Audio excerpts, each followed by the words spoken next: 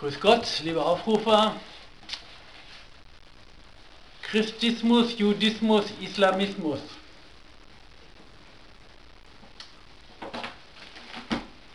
Ich habe heute hier zum Ausweis des Datums Bild vom Montag, dem 14. Januar 2013. Es gab eine vom Spiegel veranstaltete Gegenüberstellung zwischen Jakob Augstein und David Graumann, dem polnischen Funktionär des Zentralrats der Juden in Deutschland. Und wer hätte das gedacht?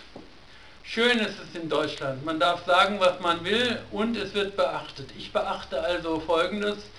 Der Herr Graumann, der diesen Begriff Antisemitismus zu seinen eigenen Geschäften inflationiert, wundert sich darüber, dass der Begriff Antisemitismus abstumpft. Das wirft er nun Leuten vor, die er sich aussucht. Und ausgesucht hat sich also David Graumann dem äh, Augstein mit dem Vorwurf, Herr Augstein könne zukünftig täglich dem Hitparaden, Antisemitismus-Hitparadenveranstalter in Kalifornien einen Strauß Blumen schicken, sich zu bedanken, dass Augstein durch diese Antisemitismus-Kampagne nun so berühmt geworden ist. Und das ist eine schöne Karriere. Naja, also wir kommen dazu natürlich, ich betreibe jedenfalls das Name-Dropping von diesen Leuten, die die Nazi-Zeit mit neuen Farben versuchen zu wiederholen, nicht mit, kommt überhaupt nicht in Betracht. Und ich finde auch, man sollte Rassismus, Ausgrenzung und Diskriminierung oder auch die Selbsterhöhung im Sinne von ich habe die Weisheit, ich bin auserwählt und so weiter, die sollte man zu Hause lassen. Ansonsten funktioniert das nicht. Dann ist es nur noch das Recht des Stärkeren. Gut, das haben wir jetzt von Richard Herzinger gehört. Israel ist der Stärkere und äh, dem muss man sich natürlich beugen. Ich habe jetzt also hier aus dem Buch Israel schafft sich ab. Das ist ja offensichtlich ein ganz gerissener äh, Autor hier, Gershom Schorenberg, äh, Gorenberg, der sagt nun, Israel schafft sich ab, in Wirklichkeit schafft Israel an. Hm, jetzt weiß man gar nicht, was man glauben soll, aber hm, gut, äh, muss ja auch nicht. Man muss es ja nicht glauben, man nimmt es einfach nur zur Kenntnis.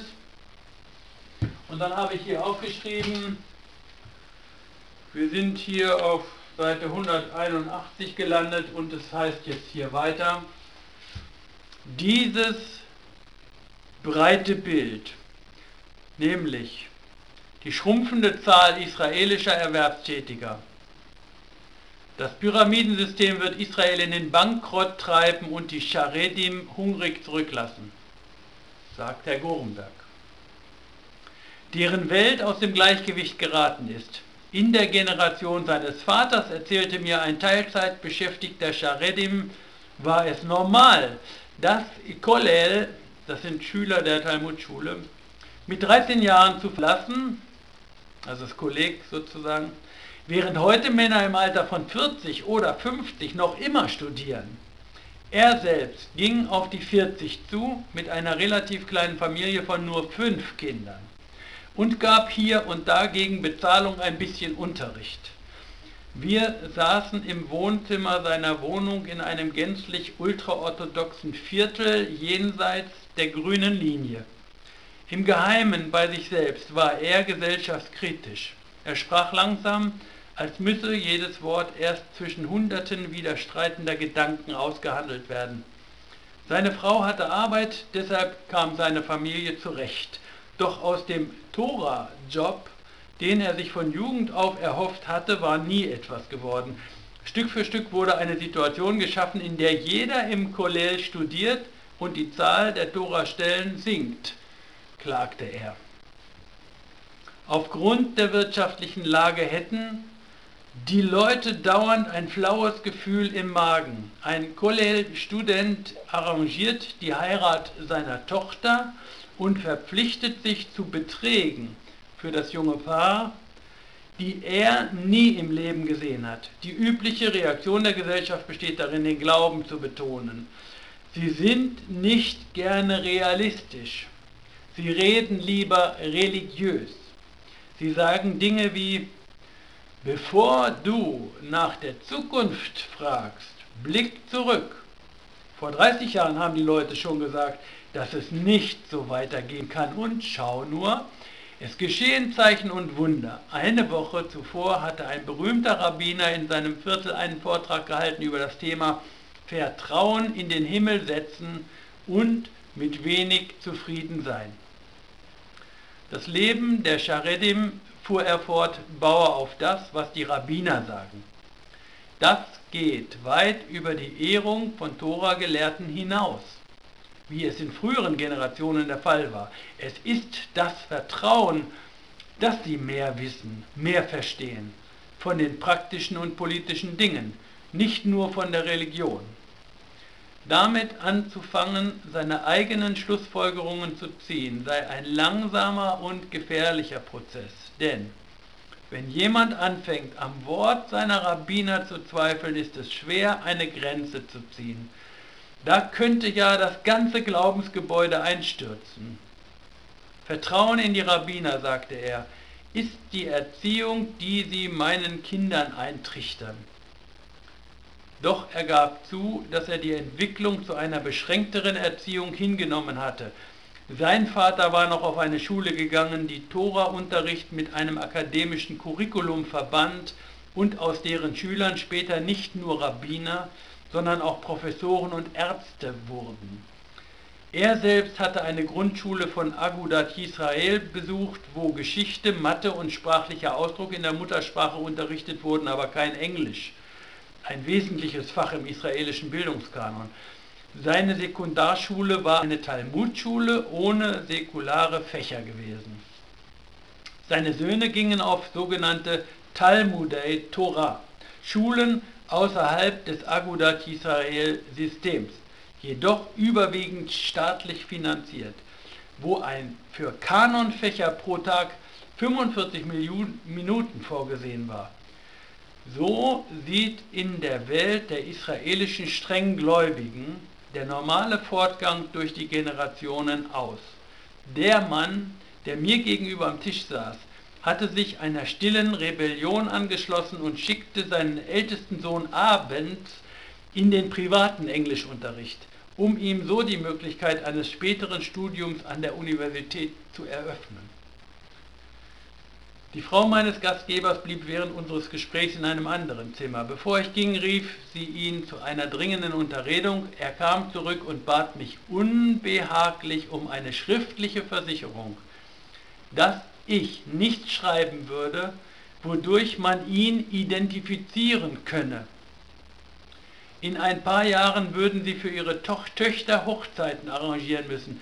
Da konnten sie es nicht riskieren, als Kritiker oder Heretiker bekannt zu werden. Die Auswirkungen der Verbindung des Staates mit der Ultraorthodoxie beginnen im Geschäftswesen, aber sie gehen weit darüber hinaus. Zwei Beschäftigungsquellen für charedische Männer waren zum Beispiel das staatliche Rabbinat und die rabbinischen Gerichte. Das Rabbinat hält die exklusive Zuständigkeit für die Heirat unter Juden innerhalb Israels inne. Die Hauptfunktion der rabbinischen Gerichte ist die Scheidung, ebenfalls ein religiöses Monopol.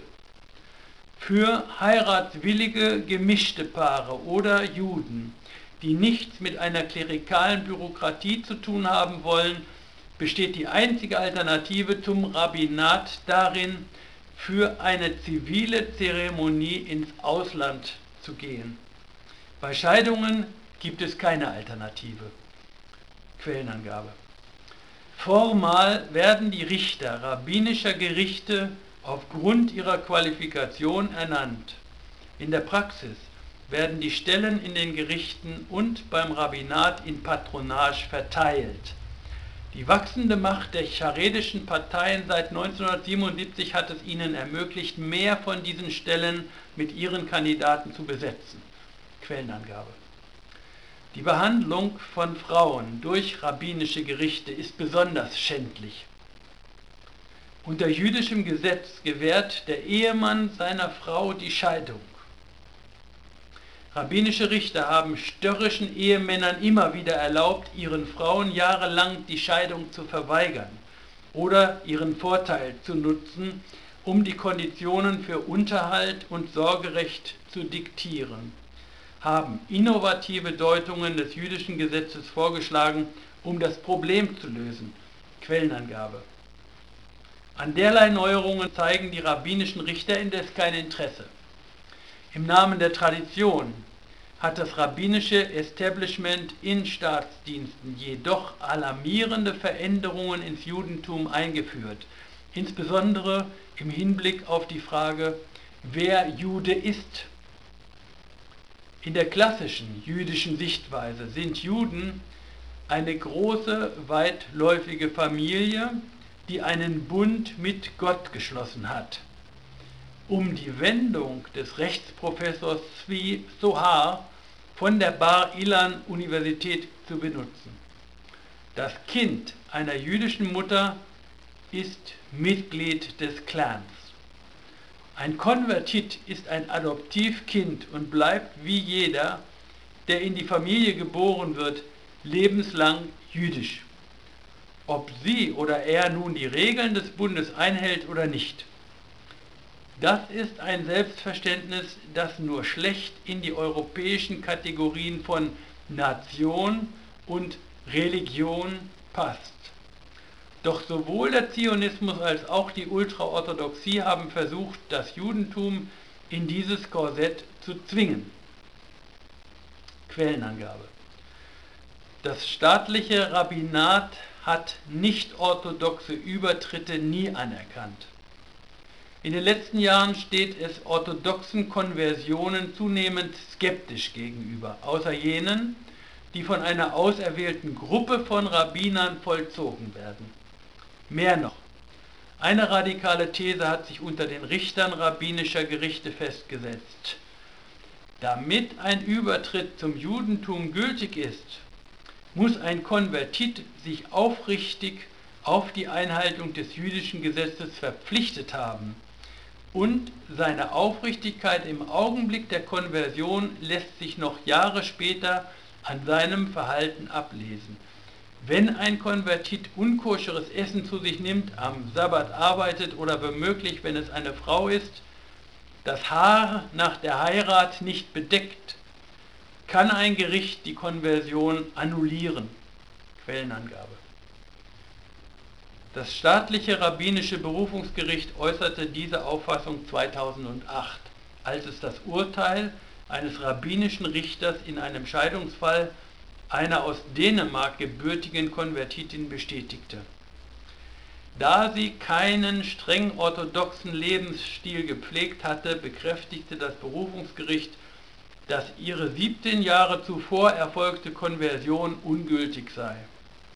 Statt eine Scheidung auszusprechen, annullierte der Richter ihre Heirat.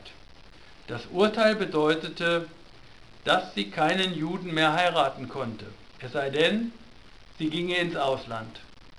Ihre Kinder, aufgewachsen als Juden, hatten einfach ihre Identität verloren und wurden ebenfalls auf die schwarze Liste der rabbinischen Gerichte für Menschen gesetzt, die in Israel keine Juden heiraten dürfen. In religiöser Hinsicht war dieses Urteil ein Skandal. Es beseitigte das jüdische Prinzip, dass ein Konvertit einem von Geburt an jüdischen Menschen gleichgestellt ist. Der größte Skandal ist jedoch, dass der Staat eine bestimmte Gruppe von Rabbinern ermächtigt hat, ihre Ansichten anderen Juden aufzuzwingen und es ihnen erlaubt hat, einem Bürger das Recht auf Heirat zu verweigern. Der oberste Gerichtshof verwies den Fall in der Folge an ein anderes rabbinisches Gericht, das die Frau dreimalig zu ihrer Befolgung des religiösen Gesetzes befragte und schließlich zu dem Urteil kam, dass sie tatsächlich ordentlich konvertiert war. Quellenangabe. Dieses Urteil brachte ihren Fall zwar zu einem glücklichen Ende, es beruhte aber wiederum auf der Anmaßung, der Übertritt zum Judentum stünde unter Vorbehalt und könne von einem religiösen Gericht des Staates annulliert werden. Dass hier erst das oberste Gericht einschreiten musste, unterstreicht die Verstrickung von Staat und Religion. Abhilfe würde offensichtlich die Einführung der Zivilheirat in Israel und die Auflösung der rabbinischen Gerichte schaffen. Es ist ebenso offenkundig, dass die Knesset, solange säkulare Parteien Ultraorthodoxe zum Regieren brauchen, keine solche Abhilfe beschließen wird. In der politischen Diskussion in Israel lautet die übliche Erklärung für die Macht der ultraorthodoxen Parteien, dass sie im Parlament das Zünglein an der Waage spielen, da sie in der Lage sind, ihre Unterstützung an eine Koalition der Linken oder der Rechten zu verhökern, können sie den Preis der beiden nach oben treiben. Diese Darstellung ist irreführend. Die charedischen Parteien haben beharrlich rechte Regierungen bevorzugt. Doch selbst als 1992 die Arbeiterpartei und 2006 Ehud Olmerts zentristische Kadima-Partei vorwärts die Wahlen gewannen, suchten diese Bündnisse mit den Ultraorthodoxen. Quellenangabe. Die wahre Grundlage der Stärke der Charedim liegt anderswo im Ausschluss jener Parteien von der Macht, die ihren Rückhalt in der arabischen Bevölkerung haben. 1992, als Rabin gewählt wurde, gewannen zwei Parteien, die hauptsächlich von palästinensischen Bürgern Israels gewählt wurden, insgesamt fünf Sitze im Parlament. Quellenangabe. 2006 errangen drei von Arabern unterstützte Parteien insgesamt zehn Sitze. Die Bedeutung des Wahlsiegs der Arbeiterpartei von 1992 war, dass sie zusammen mit den arabischen Parteien und einer anderen linken Partei eine Mehrheit in der Knesset bekam. Dasselbe galt für den Sieg der Kadima. Doch seit Ben Gurion die Kommunisten ausschloss, lautet die eiserne Regel, dass Parteien mit arabischer Unterstützung keine Kandidaten für Koalitionen und das Kabinett sind. Die höflichste Erklärung dafür ist, dass man, solange der israelisch-arabische Konflikt fortdauert, den von Arabern unterstützten Parteien nicht zutrauen könne, Verantwortung für die nationale Sicherheit mit zu übernehmen. Die weniger höfliche Erklärung ist, dass ein großer Teil der jüdischen Mehrheit eine Regierung die sich zum Teil auf arabische Stimmen stützt, nicht als legitim ansieht. Koalitionsbildungen sind wie Einkäufe. Die große Partei muss ihre kleineren Partner in politischer Münze entlohnen. Gibt es mehrere mögliche Partner, muss jeder einen niedrigeren Preis für seine Unterstützung veranschlagen. Weil die arabischen Parteien ausgeschaltet werden, können die Ultraorthodoxen mehr verlangen. Quellenangabe. Es ist Rabin anzurechnen, dass er die Grenze der arabischen Beteiligung weiter vorgeschoben hat als jeder andere israelische Ministerpräsident vor und nach ihm, ohne die von den Arabern unterstützten Parteien formal in seine Koalition aufzunehmen, einigte er sich so weit mit ihnen, dass sie ihn im Parlament unterstützten. Im Gegenzug stellte die Regierung Mittel bereit, um die lange Vernachlässigung arabischer Gemeinden auszugleichen. Wie mir ein kommunistisches Knesset-Mitglied damals sagte, behandelte Rabin die kommunistische Partei wie eine öffentlich anerkannte Mätresse, was gegenüber der Vergangenheit schon eine Verbesserung darstellte, aber noch nicht genügte. Quellenangabe. Als die Schass-Partei die Koalition verließ, blieb Rabin mit Hilfe der arabischen Parteien an der Macht, was die Wut der Rechten gegen ihn noch weiter aufpeitschte. Seit seiner Ermordung hat kein anderer Politiker mehr den Mut aufgebracht, seinem Beispiel zu folgen oder gar noch weiter zu gehen. Israel schafft sich ab, das ist aktuell die Einschätzung von Gershom Gorenberg, einem orthodoxen, gläubigen Juden, israelischem Staatsbürger und Historiker amerikanischer Abstammung. Danke für den Aufruf.